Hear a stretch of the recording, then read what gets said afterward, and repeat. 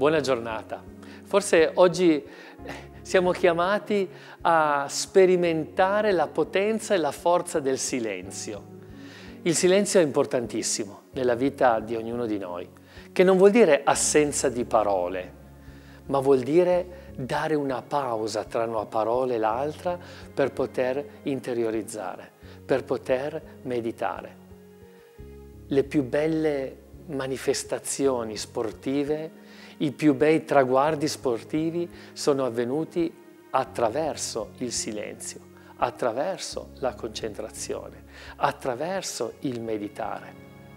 Siamo sempre sballottati dal tempo, sempre in fretta su una cosa o sull'altra. Perché non ritagliarci oggi un momento di silenzio?